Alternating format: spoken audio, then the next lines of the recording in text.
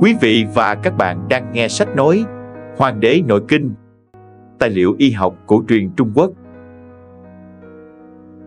Chương 8 Bản thần. Hoàng đế hỏi kỳ bá rằng Phàm các phép châm Trước hết ắt phải dựa vào cái gốc Đó là thần. Huyết mạch doanh khí tinh thần Tất cả đều do ngũ tạng tàn chứa. Nếu sự sống đến mức dâm dật làm cho tạng khí bị phân ly sẽ đưa đến tình trạng tinh khí bị thất, hồn phách bay xa, chí ý bị hoảng loạn, trí lự rời khỏi thân. Nguyên nhân nào đã gây nên như thế? Trời đất bắt tội ư? Lỗi ở con người ư? Thế nào gọi là đức khí sinh ra tinh, thân, hồn, phách, tâm, ý, chí, tư, trí, lự? Xin được hỏi nguyên nhân của vấn đề. Khi bá đáp, cái của trời ở nơi ta gọi là đức, cái của đất ở nơi ta gọi là khí. Cái thiên đức lưu hành xuống dưới, cái địa khí giao lên trên mà tạo thành sự sinh hóa vậy. Cho nên cái mà khi sự sống bắt đầu có thì nó đã có, gọi là tinh. Hai tinh đánh nhau gọi là thần. Tuy theo thần vãng lai gọi là hồn, cùng với tinh khí xuất nhập gọi là phách đóng vai trò xử trí tròn vẹn với sự vật gọi là tâm. Cái tâm chứa, nhớ gọi là ý. Nơi gìn giữ cái ý gọi là chí.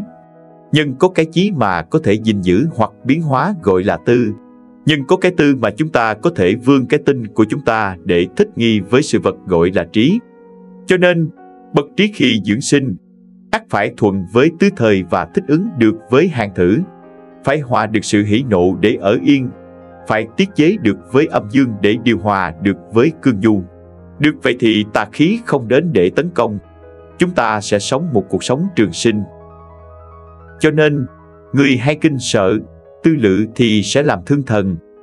Thần bị tổn thương sẽ bị khủng và cụ, lưu dâm không ngừng. Người hay bị ai thì bên trong sẽ bị động, khí bị kiệt, bị tuyệt mà mất dần sức sống, Người thường hỷ lạc thì thần bị sợ hãi và tán đi chứ không giữ lại được. Người hay ưu sầu sẽ làm cho khí bị bế tắc không vận hành được. Người hay thịnh nộ thì sẽ bị mê hoặc và bất trị loạn. Người hay khủng cũ thì thần bị sợ hãi mà phóng túng không thu về được. Khi nào tâm hay kinh sợ, tư lự thì sẽ làm thương thần. Thần bị thương sẽ bị khủng và cụ rồi tử mất, làm cho các bắp thịt bị teo phá, gây thoát lông bị héo, sắc bị yếu, chết vào mùa đông. Khi nào tỳ bị sầu ưu mà không giải được thì sẽ làm thương tổn đến ý. Ý bị thương sẽ làm cho nơi lồng ngực bị phiền loãng, tứ chi không cử động được, lông bị héo, sắc bị yếu, chết vào mùa đông. Khi nào căn bị bi ai mà bên trong bị động thì sẽ làm thương tổn đến hồn. Hồn bị thương sẽ bị cuồng, bị vong huynh không còn tin, không còn tin thì tà khí vọng hành bất chính. Người này sẽ bị chứng âm xúc teo bộ phận sinh dục và gân co quắp, xương sườn hai bên hông sẽ không nổi lên, lông bị héo, sắc bị yếu, chết vào mùa thu. Khi nào phế bị hỷ lạc đến vô vực thì sẽ làm thương tổn đến phách, phách bị thương sẽ bị cuồng.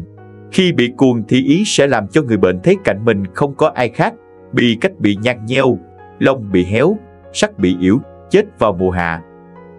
Khi nào thận bị thịnh nộ không ngừng thì sẽ làm thương đến chí, chí bị thương sẽ làm người ta hay quên những gì mình đã nói. Cục sống thắt lưng làm cho không thể cúi ngửa, co duỗi được, lông bị héo, sắc bị yếu, chết vào mùa quý hạ. Khi nào bị khủng và cụ đến không giải được thì sẽ làm thương tổn đến tinh. Tinh bị thương thì cốt bị ê ẩm. Nguy quyết, tinh thường bị xuất ra. Cho nên, ngũ tạng chủ về tàng tinh chúng ta không thể làm thương đến nó. Nếu làm thương thì ngũ tạng sẽ bị thất thủ không còn được bảo vệ, đưa đến âm khí bị hư. Âm khí bị hư thì không còn khí, không còn khí thì sẽ chết. Cho nên, người dụng châm phải quan sát bệnh thái của người bệnh nhằm để biết sự còn mất của tinh, thần, hồn, phách, nắm cho thành cái ý đắc thất. Nếu ngũ tạng khí đã bị thương, thì việc châm trị sẽ không thành công được. Căn tạng huyết, huyết xá chứa hồn, khi căn khí hư thì hay khủng, thực thì hay nộ. Tỳ tàn doanh, doanh chứa ý, khi tỳ hư thì làm cho tứ chi không làm việc được nữa. Ngũ tạng sẽ bất an, thực thì bụng bị trướng, đường tiểu bị bất lợi. Tâm tàn mạch, mạch chứa thần, khi tâm khí hư thì hay bi, thực thì hay cười không thôi. Phế tàn khí, khí chứa phách, khi phế hư thì mũi bị nghẹt, bất lợi không thông, ngắn hơi. Thực thì hơi thở gấp mà âm thanh to, ngực bị đầy, phải ngước lên để thở. Thận tàn tinh, tinh chứa chí, khi thận khí hư thì bệnh huyết, thực thì bị bệnh trướng. Khi ngũ tạng bất an, ắt phải thẩm sát bệnh hình của ngũ tạng để biết được sự hư thực của khí, điều hòa một cách cẩn trọng